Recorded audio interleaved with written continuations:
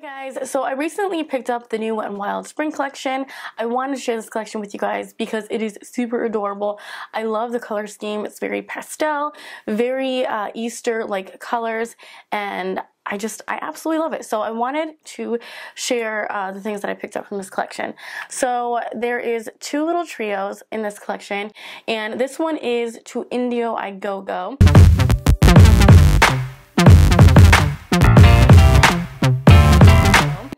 And this one has a beautiful shimmering like peachy champagne color. It is gorgeous. It's a little bit on the chunkier side because it does have glitter, but it is beautiful on the inner corner. And then you have this matte shade right here, which is a purple.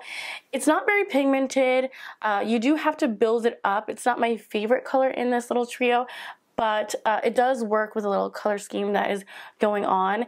And then there's this beautiful sky blue.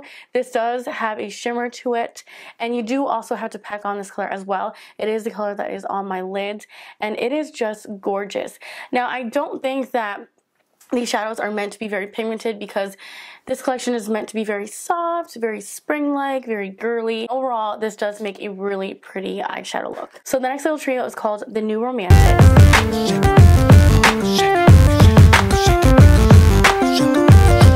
And this one has a beautiful pearlescent brow bone shade. It is like a white pearlescent shade and it is just gorgeous. It is perfect for the inner corner, for the brow bone, and also you can use this as a highlight. And then it has the shade right here, which is a shimmery pink. And then you have a shimmery purple. And this quad is quite pigmented. It is quite metallic. This will also give you a very soft look and it's a statement but not like an overstatement. It's not super pigmented but it does have some color. You will see the different colors, the different dimensions, uh, but it's not in your face, which is nice. Also came out with really pretty colors in their Wet n Wild Mega Liner collection and this one is in the shade Trim with Lace which is a beautiful milky white and then this one is a case of blue which is is a beautiful periwinkle shade. And then you have this one, which is called Violet Revolution. And this is more of like a bubblegum pink. And I think this one is probably my favorite because it is the most unique. I do like periwinkle. I have a couple periwinkle liquid eyeliners already because it's one of these colors that are just gorgeous on the eyes. But I don't have anything like this. So uh, I definitely recommend this shade. And I like the applicator of this because the applicator is stiff, so you will get a pretty precise line. And these are very, very pigmented. They are quite liquidy in formula, so you do have to be careful with that. But nonetheless, they do dry rather quickly and uh, they show up really nicely on your eyes and they will look so beautiful with the eyeshadows that go with this collection. And last but certainly not least are the highlighters in this collection. This is what definitely drew me to this collection. Damn.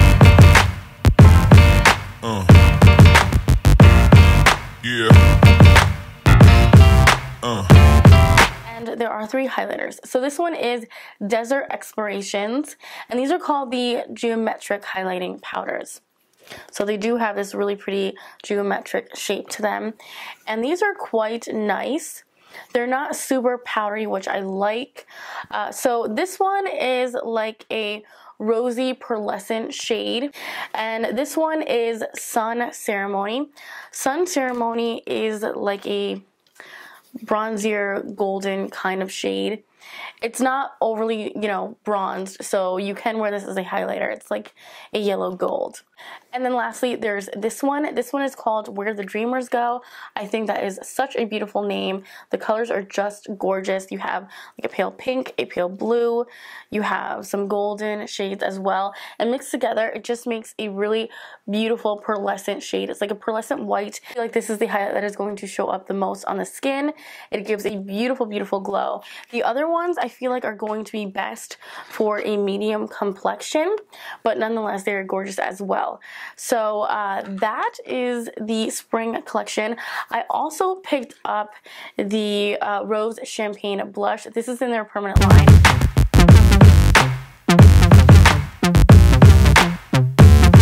Heard nothing but great things about this blush, so I wanted to give it a try. And I will say this is a beautiful, beautiful blush. It gives you a really nice rosy, bronzy cheek, which I love.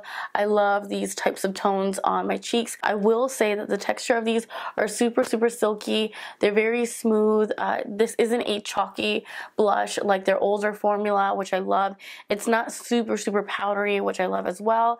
Uh, but I will say that these blushes aren't as pigmented as their older formula, which is okay. You definitely have to build this up if you have a medium complexion. I think that this will be an outstanding blush if you have a lighter complexion, but nonetheless, I really do like this blush a lot. They have launched so many new products in their permanent line, which is amazing. So I definitely want to try out some of those products. I did try out the concealer, which I love, and I tried out their blush, which I love as well. So I definitely want to try out their blushes. Their blushes look really, really pretty um, and very affordable. So uh, that's all for today. I hope that you guys enjoyed this video and I will see you guys in the next one. Bye guys.